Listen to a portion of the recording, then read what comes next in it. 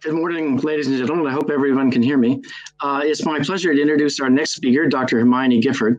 Uh, Dr. Giffard is a researcher at the Department of History at the University of Utrecht in the Netherlands, and she is the author of a prize-winning study, The Making of Jet Engines in World War II, Britain, Germany, and the United States. And she'll be speaking to us this morning on how views of the potential post-war market for jet engines affected British jet engine development during World War II. Okay. Hello, I'm Hermione Giffard, and this is my paper, Designing for the War or After It, the Case of the Jet Engine. Now, this conference, uh, we know, is about the RAF uh, from 1945 on. So what am I doing here discussing something that happened during the Second World War? Well, the first jet engines were certainly built during the war, but as I want to argue today, uh, this formed part of the Royal Air Force's plans for the post-war world. And indeed, by taking this perspective, um, we can make more understandable many aspects of the wartime jet engine programs. Roughly speaking, uh, we can understand the American, German, and British programs as having different aims. The American program aims at the post-war period. The German program is building weapons to use during the war, uh, and the British are kind of doing both. Um, but the weapons for the war clearly uh, have a post-war purpose. So let me explain uh, closer now uh, what I mean. Um, the Americans, uh, again, are pretty clearly building for after the war. They refuse to let existing piston engine companies build jet engines during the war for fear that this would take away from producing piston engines, which they needed to fight the war. Uh, it's pretty clear the first jet engines wouldn't have the kind of range um, that the Americans need for the kind of air warfare that they're waging. Uh, so what seemed to be odd choices, General uh, Electric and Allis Chalmers, who developed the first jet engines in the United States, um, uh, in fact, are quite reasonable. So among com companies that are not producing aero engines, uh, because the war effort can't be threatened, these companies that are chosen have expertise in mechanics. But certainly, this isn't the highest level of commitment to the new technology uh, that you could have. Nazi Germany uh, is at the other extreme. So it's clearly building for the war. Um, they need aircraft to fight with, aircraft ideally that would give them qualitative superiority uh, over the enemy air forces they're engaged with at that uh, time. Uh, so this is a slide briefly showing the pros and cons. Um, the biggest advantage is, of course, high speeds. Um, the biggest disadvantage is that it's completely unknown um, and the engines are fairly costly to build. Um, the government, uh, we know, is willing to sacrifice pilot lives. Um, so they're willing to skate over the problem also of the lack of pilots, um, despite complaints from the Luftwaffe. So any possibility of saving the Luftwaffe and Germany uh, through higher speeds um, is worth it. So what's the chief problem here they can do something about? Well, it's, uh, it's this last one, the cost of production. Costs in material, costs in time, and costs in labor.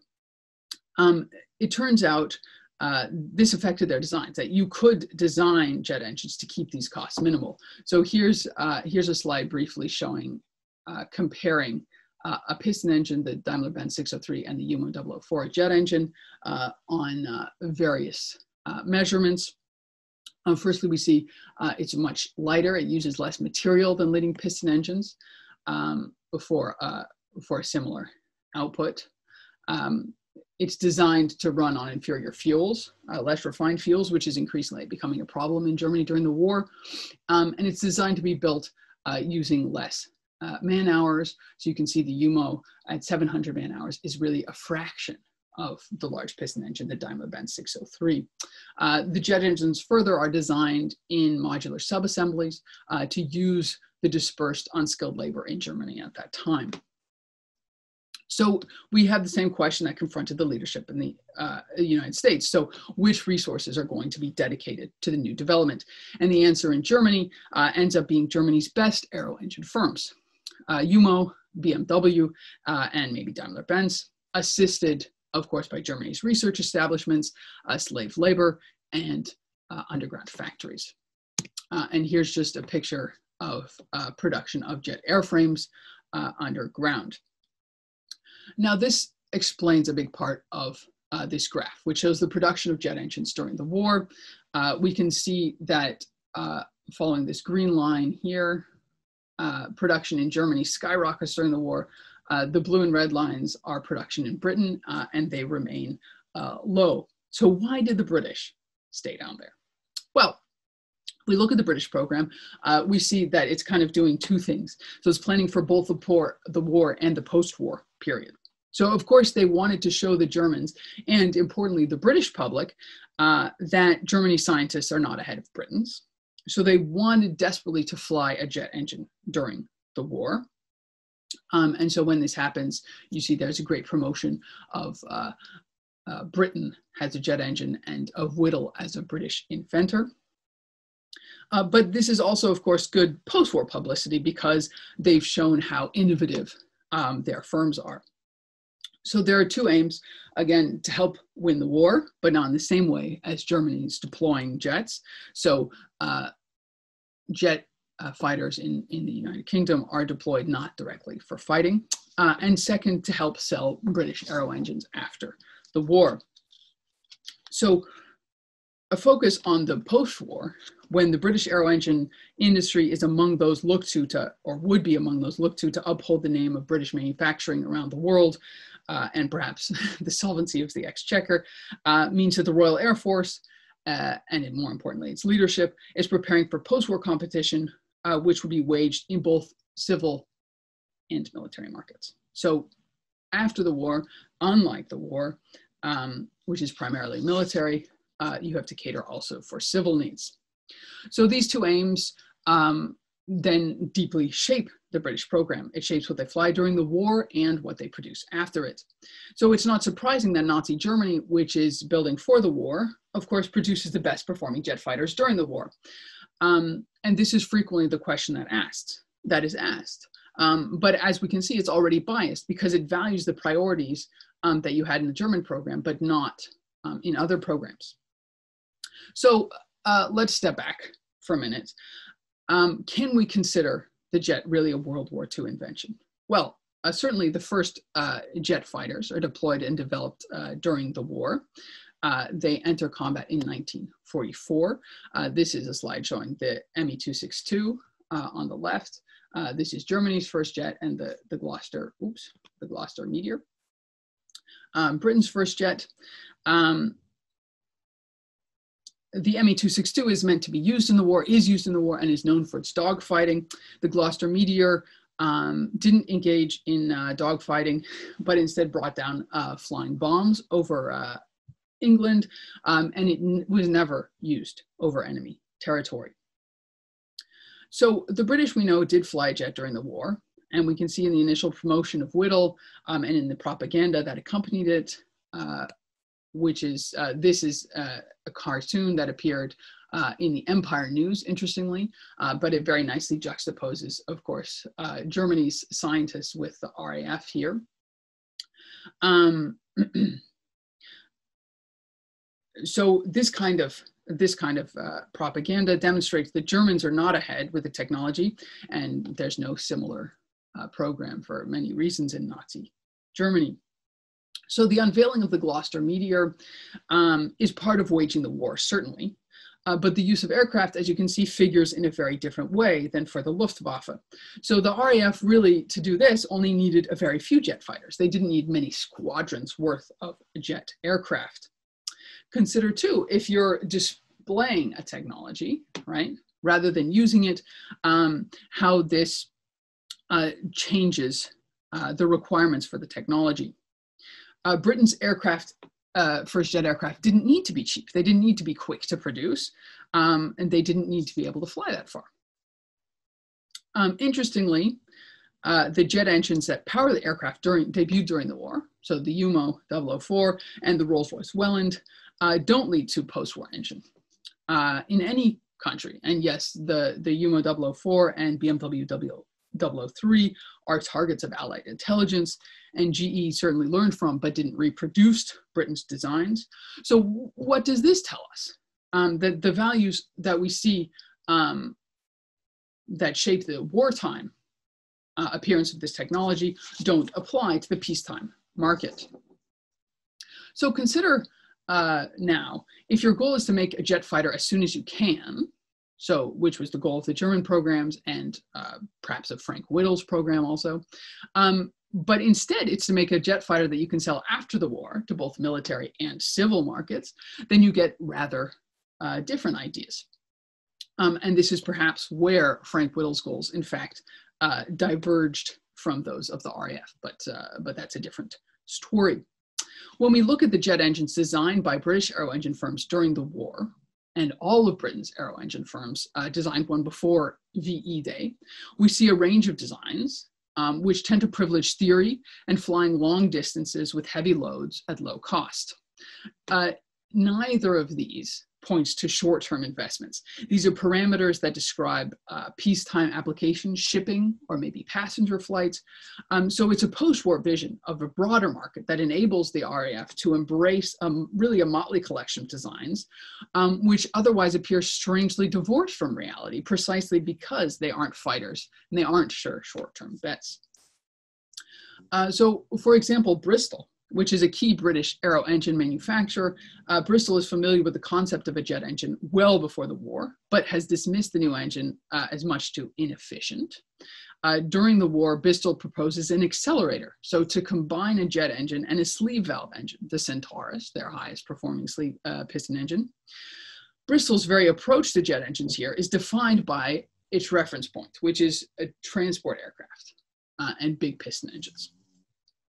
Uh, Napier, similarly, uh, but a less successful British aero engine supplier, um, which is also forced into jet engine development by the government, uh, proposed in 1944 to combine the Sabre, uh, a powerful two-stroke piston engine, with an axial gas turbine, uh, both of which will drive a propeller.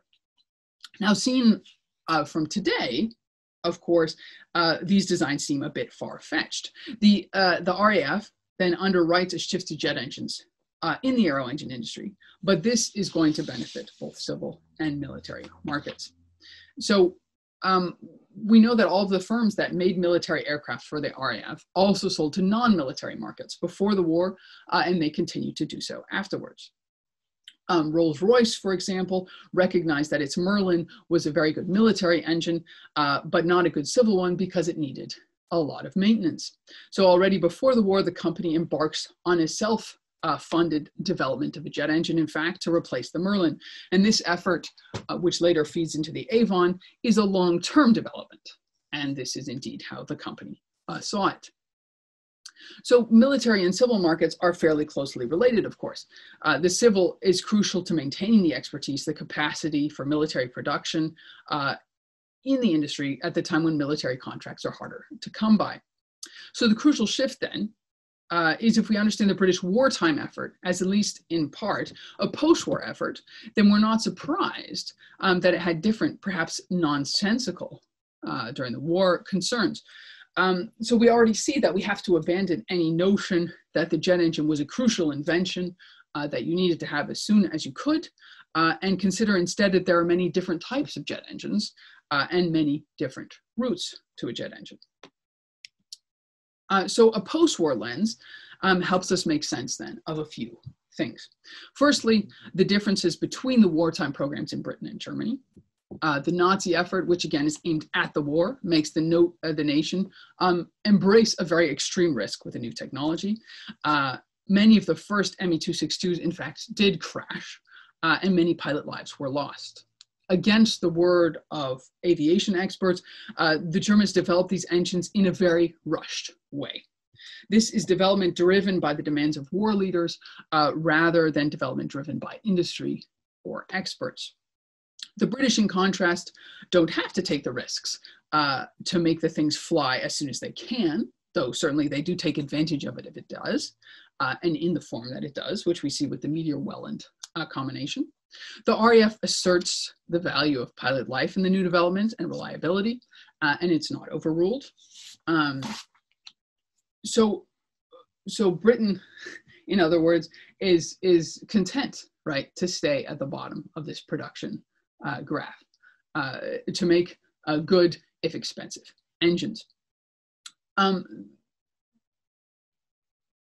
we know the Nazis made compromises on the jet engine that made sense in the German war economy at the time. So their engines were cheaper per pound thrust than piston engines, which, uh, which were primarily designed uh, first in civilian economies.